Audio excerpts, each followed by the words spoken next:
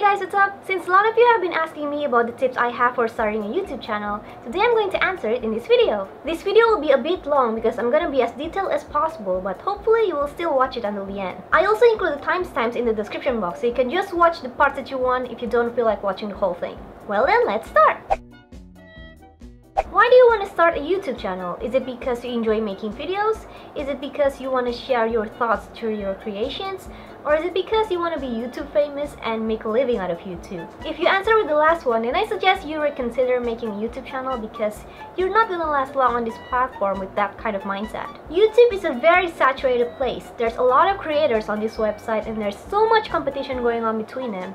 So you have to stand out from the crowd if you want people to notice your videos. So if you only seek for instant fame and fortune on YouTube, chances are you're not going to get them because logically, you're not gonna get famous overnight and earn a lot of money to start making a living out of your YouTube videos. So take some time thinking about the reason why you want to start a channel and whether or not you'll be able to maintain it once you have created it. If you're underage and your parents don't give you the permission to start a YouTube channel, then listen to them and don't go creating a channel in secret behind their backs. I'm saying this because I know that your parents only want what's best for you and they want you to be safe. The internet can be a dangerous and scary place, especially for those who are underage. So if your parents don't think that you're old enough to start uploading videos on the internet for everyone in the whole world to see, then don't do it. But Raf, I really love making videos. What should I do if I can't even upload them on the internet? Simple. You can always make your videos without uploading them on the internet and just save them on your computer. That's what I did before I started my YouTube channel. I would sometimes vlog myself when I went out, or talk to the webcam on my laptop, or pretend to give a makeup tutorial, or make some silly videos and anime AMVs with my best friend. The point is, if you really enjoy making videos, you can always make them without uploading them online. And if you make them often enough, one day when your parents finally give you their permission to start a YouTube channel, you'll already be prepared for what you want to make on your channel. I recommend using a name that you'll still be comfortable using in the upcoming years. Don't use numbers in your name because it doesn't look professional and it's not simple enough for your viewers to remember. And don't use a name like Emo Girl Forever because you'll definitely regret it once you hit puberty. Stick with something that represents you and your channel. I use the name RafiRaffee because it's been my online name since middle school and it's also my nickname in real life. It sounds catchy and easy enough for people to remember and I'm sure that I won't be embarrassed by this name 5 years from now. So now you're ready to start making videos on your channel, but you don't know what you should make. You have no idea what your channel theme is because everything seems so interesting to talk about.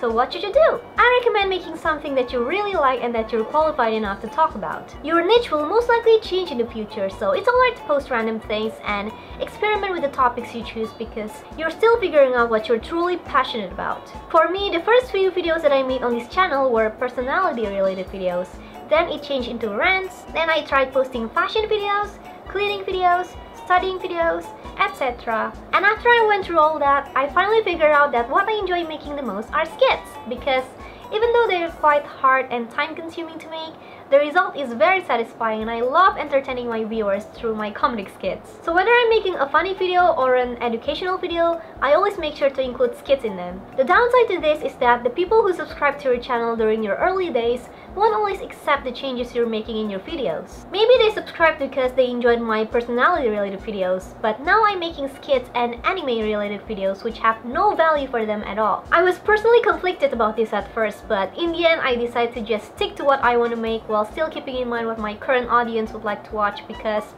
that was the reason why I started my YouTube channel in the first place to make content that I enjoy making. It's sad to think that I may lose my early subscribers, but on the bright side, I will also earn more subscribers that will enjoy the videos I'm making, so it's not the end of the world. When you're first starting out, I recommend using something that you already have instead of splurging on an expensive DSLR. The reason for this is because you're still figuring out whether or not you'll want to do YouTube in the long term. So if you immediately buy an expensive DSLR but after making a few videos, you realize that YouTube is not really your thing, then your DSLR will be wasted. If you have a smartphone, you can try using it as a start It'll be fine as long as you don't film vertically. Or you can also use your webcam or pocket camera if you have one. I used my Canon pocket camera when I first started out and after I realized that I wanted to continue making YouTube videos, I then decided to splurge on a DSLR. Nah, I lied, I actually just borrowed one from my big brother, The camera I'm currently using is this Nikon D5100 with a Sigma 30mm f1.4 lens. And the camera I use for vlogging is the Canon PowerShot G7X. To me personally, I think audio is more important than visual because if you film with let's say a potato cam where the audio quality is top notch, then some people will still want to watch that video compared to if you film with um, an HD camera but with a very low quality and muffled audio. I'm saying this based on my own experience because people would always complain whenever my audio quality is bad but they complain much less when the video quality is not that good but the audio quality is great. So make sure to speak loudly and clearly so your viewers will be able to hear what you're saying. For the actual equipment, what I'm currently using is Rode VideoMic Pro. For more information about the audio and other filming equipment I've previously used, you can check out the video right here. I'll also leave the link to it in the description box below. The best lighting and the cheapest one to get is of course natural lighting, so if you have a window in your room, try filming in front of it to get a bright and clear result. If your window is not positioned conveniently for you to film in front of it, you can use artificial lighting instead. When I first started, I only used the ceiling lights in my room. Now I'm using two reading lights that I got for around 20 bucks each. You don't need fancy things to get the maximum result, just use what you have and make the best out of it. When I first started, I used iMovie to edit my videos because it's a free software that came with the MacBook and after a while I changed into Final Cut Pro X. iMovie is a pretty great video editing software so if you're a Mac user then I recommend using iMovie and if you're a Windows user I recommend using Windows Movie Maker. When you feel like you're ready to start using a more complex editing software, I recommend using Final Cut Pro X for Mac users or Adobe Premiere Pro for both Mac and Windows users. Of course, you can always choose other softwares to use, but those are just my personal recommendations. These are the most important things that will determine whether or not people will click on your videos. Make sure your title is straight to the point and make people want to click on it without having to use a clickbait. For example, my very first video on this channel was titled JackScap Project because I made that video in response to JackScap challenge and it got people clicking because it had the word JackScap on it so they knew that I was referring to the challenge. But after the challenge had ended, people no longer clicked on that video because no one actually searched for that video anymore. I mean who would randomly type JackScap project in the search bar? Therefore, I decided to change that title into room tour because that video does contain a room tour and people will always search for a room tour video so I will still gain more views for that video even though JackScap's challenge had long ended. So make sure you use a title title that represents your video, a title that people will search for and want to click on. As for thumbnails, make sure you have a high quality thumbnail that will catch people's eyes the moment they glance at it and makes them want to click on it. I've changed my thumbnails for each video several times throughout my years of being on YouTube because I realized that my early thumbnails were not interesting enough for people to want to click on. Let's take a look at one of them. This was the thumbnail I used for my JackScap project slash room tour video. Do you see something wrong with this thumbnail? I didn't at first, but after my brother pointed it out, I started noticing what was wrong with the thumbnail. First of all, this thumbnail only has my face on it, me an unknown girl in a dim lit room. It doesn't represent the most important content of this video which is a room tour and it doesn't make people want to click on it.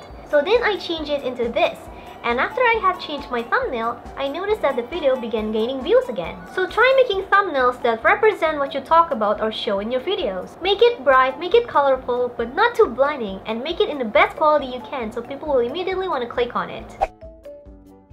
Make sure to not leave your channel art blank because it makes your channel look unprofessional. Try making a banner that represents your channel. There are already many tutorials on YouTube on how to make your channel banner, so look it up if you need help with it. I personally made my channel banner using my logo. It's pretty simple but it does give the channel a professional look.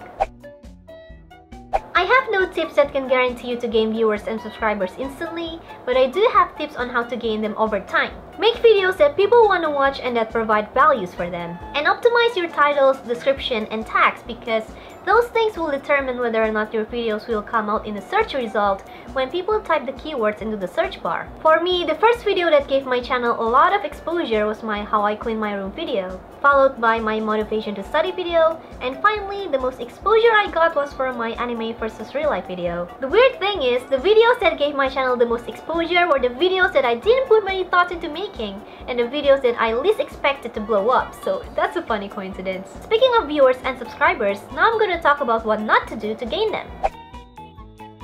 Don't do sub for sub. There are many reasons why you shouldn't do sub for sub. First of all, when you ask people to do sub for sub on another YouTuber's comment section, you're being disrespectful to that YouTuber because you're using their comment section as a billboard to promote your content. Secondly, the subscribers you get from sub for sub are dead subscribers meaning they will not watch your videos. They are nothing more than numbers and they will not help you grow your channel. In fact, they will instead hurt your channel because your subscriber count and view count ratio determines the rank of your channel. If YouTube sees that you have many subscribers, say around 10,000, but your view count for each video only reaches around 100 or so, they will know that you're doing sub for sub and they will reduce your channel rank, which will cause your videos to be ignored by the search engine. So it's best not to use sub for sub because it's not gonna benefit your channel at all. Don't ask for shoutouts. People often have a misconception regarding shoutouts. They think that if a big YouTuber gives them a shoutout, then they will immediately get big overnight.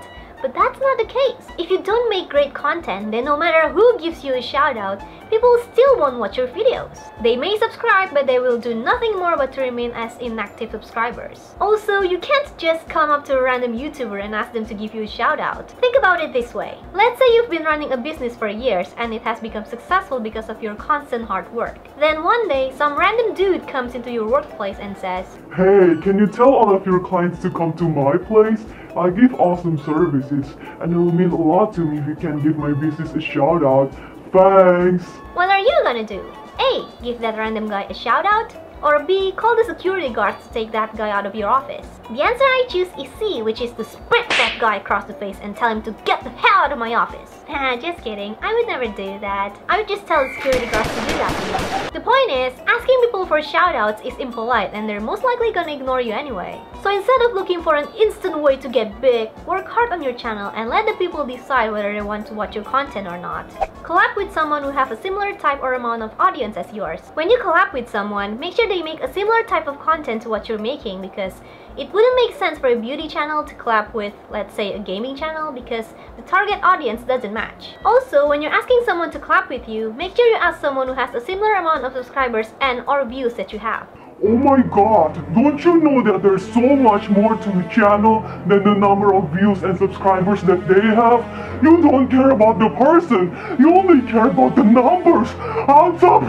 Yes, I'm aware that we shouldn't judge a YouTuber based on the number of subscribers and views that they have on their channel, but we also have to look at this from a marketing perspective, because the point of doing a collaboration in the first place is to gain mutual benefits, right? I'm gonna use a simple math to elaborate my point. So let's say person A asks person B to collab with him.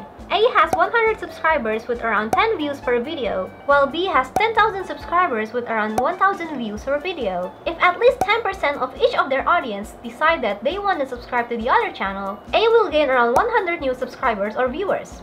However, B will only gain less than 10 new viewers on his channel. That doesn't seem fair to be at all, does it? So before you ask someone to collab with you, make sure the result you get will be beneficial to both parties. Unless they're your friend or you're the one who's being asked to collab with them, then feel free to do what you want. Once your channel starts to grow, you'll be getting a lot of emails from various networks, asking you to partner with them in exchange for some valuable services in return. And my suggestion is, you should not partner with any of them. Why? Because you won't be getting anything worthy enough at the level you're currently in. Most people think that if they join a network, then they will get a chance to collab with the big YouTubers who are in the same network as them. And they will also get a chance to go to various YouTube events through that network. But those things are obviously not gonna happen. If you're a small YouTuber, you don't need to join a network. They will do nothing but to cut your YouTube income. I'm saying this because so many small YouTubers have had bad experiences with YouTube networks, and the majority of them agree that YouTube networks are not beneficial to small YouTubers. Even PewDiePie said so himself in one of his podcasts. So once your channel starts growing and you start receiving offers from various YouTube networks, it's best not to respond to them at all.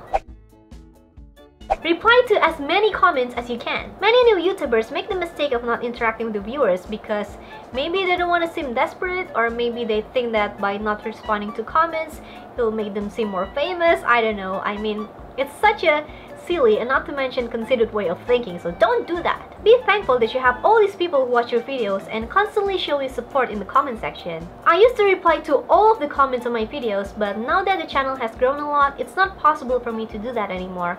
But I still take a lot of time replying to as many comments as I can because I really cherish the interaction we have in the comment section, and I think it's one of the best parts of making YouTube videos, which is to interact with you guys who have constantly given me support and encouragement to keep making my videos. So thanks a lot guys! So those were all the tips from me. I hope you guys got something out of them. If you have any question you'd like to ask me, then leave them in the comments below and I'll try my best to answer them. And if you want your question to be answered in a video, then use the hashtag AskRafi, E. Also, thank you very much to those of you guys who have followed me on my social medias. If you haven't and if you want to, the links are in the description box below. So that's all from me today guys. Thank you very much for watching this video and thank you for those of you who have subscribed to me. If you haven't then please be sure to click on the shiny subscribe button below. Don't forget to like this video and share with your friends if you enjoyed watching it. And I will see you on my next one. Have a nice day everyone. Bye bye.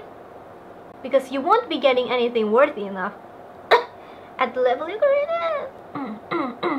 Don't you know that there's so much more to a channel than